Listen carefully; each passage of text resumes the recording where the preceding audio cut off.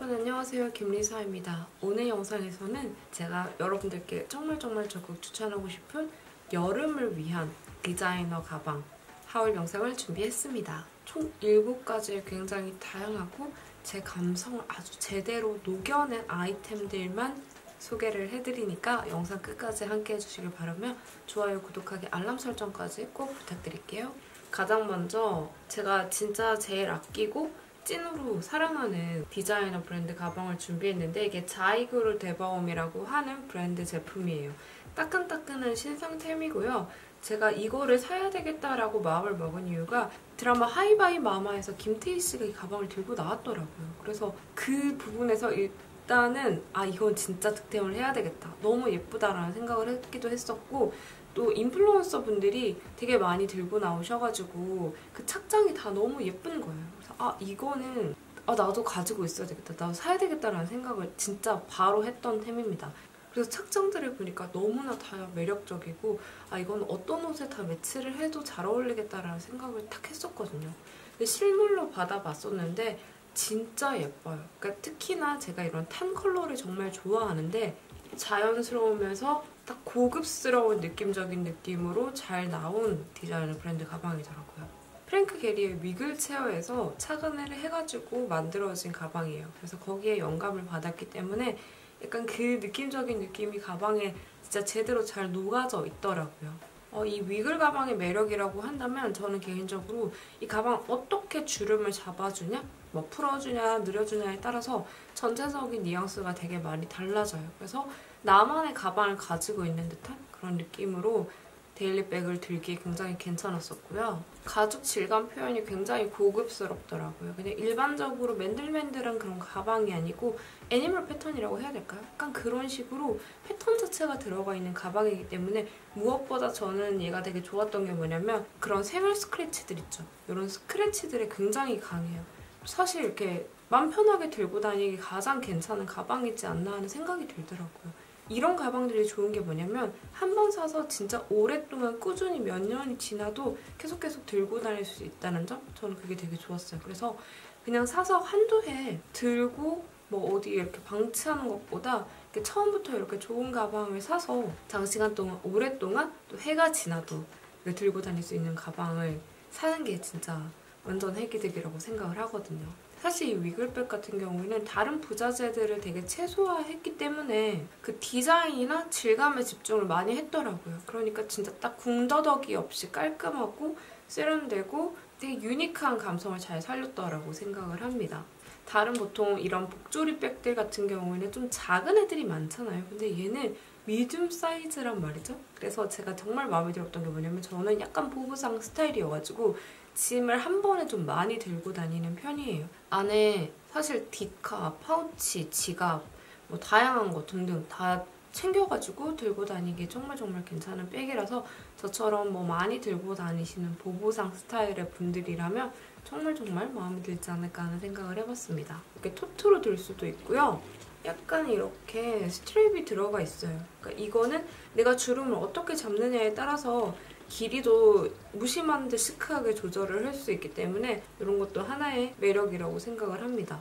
다음은 오스트카카 가방인데요. 이 백입니다. 진짜 너무 귀엽고 그 큐브라고 하는 이름이 딱 어울리는 그런 가방이라고 생각을 해요. 이렇게 얘는 화이트 화이트 컬러고요. 이 오스트카카 백 같은 경우에는 기은세 씨가 착용을 해가지고 또 제가 매 눈으로 지켜봤던 템이거든요. 진짜 딱 봤을 때 그 패션이 아 손민수를 하고 싶다라는 그런 딱 느낌이 들잖아요. 기은세 씨가 들고 나오는 가방이라든지 또 입고 있는 옷들이 굉장히 매력적인데 그중에서도 리카 큐브 화이트가 완전 진짜 좀 대박이다, 너무 예쁘다, 멋스럽다라는 느낌을 저한테 제대로 줬던 백이에요. 오스트카카의 signature라고 하면 이 매듭을 예로 들 수가 있는데 매듭과 one handle로 이루어진 백입니다. 개인적으로 화이트 컬러의 가방이라고 하면 되게 세련되면서 딱 심플하게 포인트를 주기에 좋아요. 팬츠류를 화이트 팬츠를 메인으로 잘 입지는 않잖아요. 보통 청바지라든지 블랙진 이런 아이템들을 위주로 입으니까 위에 자켓 하나 걸치고 이런 백 하나 이런 화이트백 하나 들고 있으면 진짜 별거 아닌데도 되게 깔끔하고 멋스럽게 daily look 완성하기 좋더라고요. 지퍼로 되어 있기 때문에 열고 닫을 때 되게 편안하게 열고 닫을 수 있고 이런 애들이 되게 좋았던 점이 뭐냐면 지퍼를 되게 빨리 열 수가 있어요. 또 가방에서 빨리 뭐 꺼내야 될 때 지갑이라든지 이런 것들 그러니까 그런 부분에서 되게 편했고 이렇게 매듭 디테일이라든지 지퍼 디테일이 들어가 있기 때문에 되게 캐주얼한 느낌을 주는 그런 디자인이더라고요. 그리고 박스 형태의 디자인이잖아요. 그러니까 이런 애들이 좋은 게 뭐냐면 안이 통으로 되어 있기 때문에 은근 수납할 수 있는 공간이 꽤나 넓고 넉넉해요. 그러니까 가방을 들고 다닐 때도 되게 실용적이게 활용을 할 수 있는 그런 디자인의 가방이거든요. 제가 이 오스트 카카의 백에 진짜 반했던 점이 뭐냐면 이 dust bag인데요. 사실 이거 dust bag이라고 말 안 하면 그냥 에코백으로 들고 다닐 수 있을 만큼 진짜 quality가 괜찮아요. 원단 자체도 되게 탄탄하고 이런 식으로 주름을 잡을 수 있도록 되어 있어가지고 이게 dust bag의 quality인가? 하는 생각이 딱 들더라고요. 이거는 다양하게 활용하기에도 진짜 좋은 것 같아요.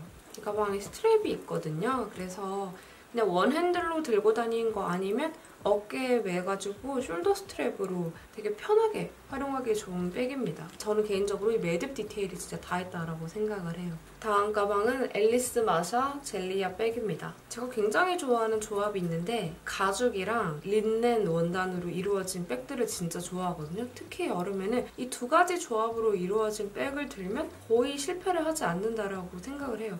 그래서 그만큼 daily bag으로도 정말 정말 들기 좋은 그런 조합입니다. 앨리스 마샤의 젤리아 백 같은 경우에는 일단 사이즈가 좀 커요. 이런 식으로. 그래서 마치 약간 서류 가방 같은 그런 느낌적인 느낌도 주는데요. 가운데는 이렇게 지퍼 디테일이 들어가 있어서 되게 쉽고 빠르게 열고 닫고 하기에 굉장히 괜찮은 가방이고요. 그냥 일반적으로 이렇게 토트백으로 들고 다니는 거 아니면 긴 어깨 strap이 있기 때문에 이걸 연결해가지고 daily bag으로 활용을 해주기 굉장히 괜찮습니다. 끈은 어깨 길이를 조절할 수 있기 때문에 내 신체 사이즈에 맞춰가지고 이렇게 조절을 해서 쓰면 좋을 것 같아요. 근데 저는 개인적으로 이렇게 큰 사이즈의 토트백 같은 경우에는 숄더백으로 드는 것도 괜찮긴 한데 이거 자체로 그냥 손으로 들어서 들고 다니는 게 제일 멋스럽고 편하게 시크하게 들고 다니기 좋은 그런 가방이라고 생각을 하거든요.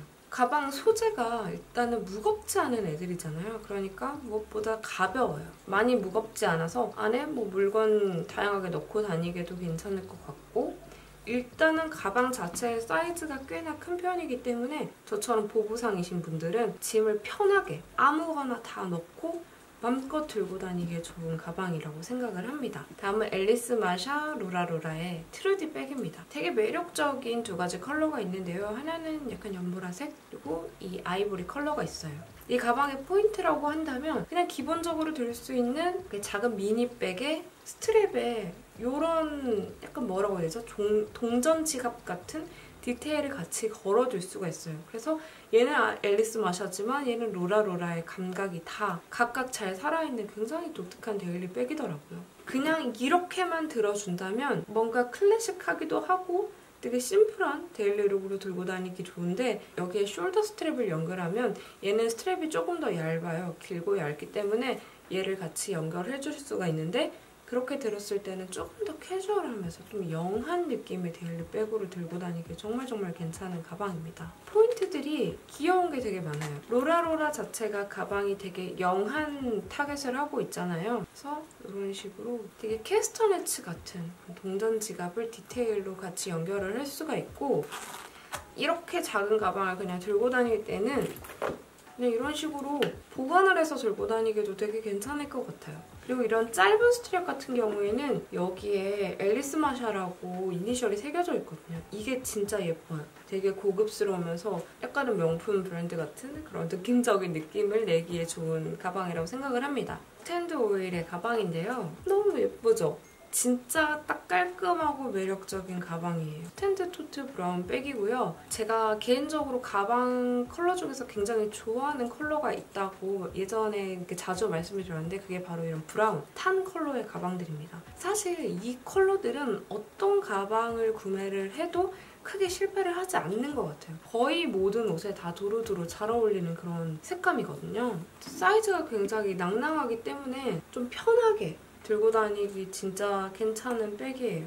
되게 부드러운 그런 초코 brown 컬러라고 해야 될까요? 그러니까 우유가 섞인 듯한 그런 초콜릿 컬러예요. 되게 부드러우면서 튀지 않고 daily bag으로 들고 다니기 진짜 제일 괜찮은 그런 색감입니다. 그리고 제가 또 보부상이라고 말씀을 드렸잖아요. 오늘은 보부상 백들이 되게 많아요. 그러니까 이런 큰 가방의 매력이 뭐냐면 지갑에서부터 파우치, 뭐 다양한 내가 들고 다녀야 될 제품들, 뭐 그런 아이템들을 다 넣고 들고 다니기 정말 정말 좋습니다. 그리고 얘는 이렇게 세로로 길고 상단이 오픈이 되어 있는 형식이에요. 그렇다 보니까 특히 아이패드 들고 다니시는 분들 아니면 책 같은 거를 다 넣고 들고 다니기에 좋은, 정말 좋은 가방입니다. 그러니까 다른 데일리백들은 조금 사이즈가 크다라고 해도 이 정도만큼 깊거나 좀 넉넉하지 않기 때문에 살짝은 조금 불편할 수가 있는데 얘는 세로로 기니까 특히 아이패드류 같은 것들은 진짜 편하게 넣고 들고 다니기 정말 정말 좋죠. 그리고 두 가지의 strap이 있어요. 그냥 기본적으로 아, 짧게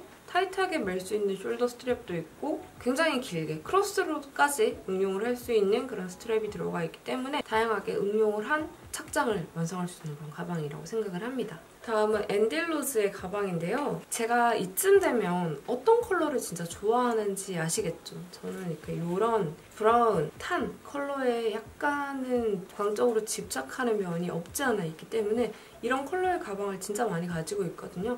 이번 앤딜로즈 백 같은 경우에도 되게 부드러운 tan 컬러의 가방입니다. 딱 굉장히 귀여운 컴팩트한 사이즈의 가방이에요. 어, 이 앤딜로즈 가방 같은 경우는 디자인이 너무나 예쁘거든요. 귀여우면서 좀 세련된 미까지 다 가지고 있는 daily bag이라고 생각을 해요. 이렇게 안에 shoulder strap이 들어가 있어가지고 길게 shoulder나 크로스로도 착장을 할 수가 있는데요. 저는 개인적으로 이 가방의 charming point라고 한다면 무엇보다 그냥 이 자체로 들고 다니는 게 진짜 제일 대박이라고 생각을 해요. 토트백만으로도 굉장히 매력적이잖아요. 제가 이거 되게 귀엽다고 말씀드렸는데 이게 꽃봉오리에서 모티브를 따가지고 만들어진 가방이기 때문에 그 특유의 꽃봉오리 모양을 연상케 한다고 하더라고요. 그리고 앞으로 이렇게 전체적인 면은 가죽으로 되어 있는데 옆면 소재가 살짝 달라요. 약간 그 뭐라고 되죠? 세무 원단? 약간 이런 걸로 되어 있어가지고 좀 더 유니크한 맛이 있었던 것 같아요. 그래서 이런 디테일들이 이렇게 더해져 있으니까 지루하지 않다는 점? 이게 공개 되게 좋더라고요.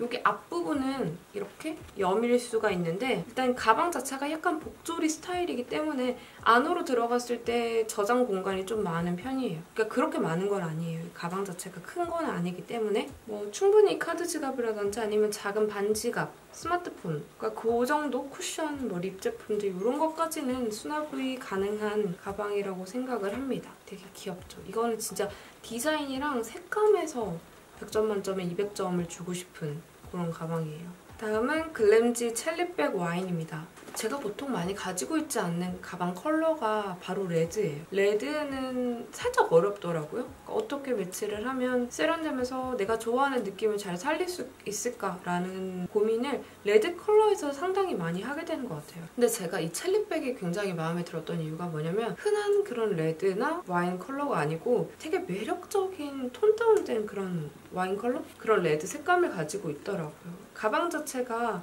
네모네모스럽긴 하지만 이런 부분에서 커팅이 들어가 있어가지고 아, 되게 세련되면서 이런 디자인들을 잘 표현했다라는 느낌을 받았었거든요. solid하면서 matte한 천연 소가죽을 사용해서 제작된 가방이기 때문에 이런 원단 quality도 굉장히 좋은 편이고 특히 이런 천연 소가죽 같은 애들은 scratch가 나거나 뭐 시간이 지났을 때 그 점점 닳아가는 나이를 먹어가는 그런 느낌적인 느낌? 그런 맛이 있잖아요.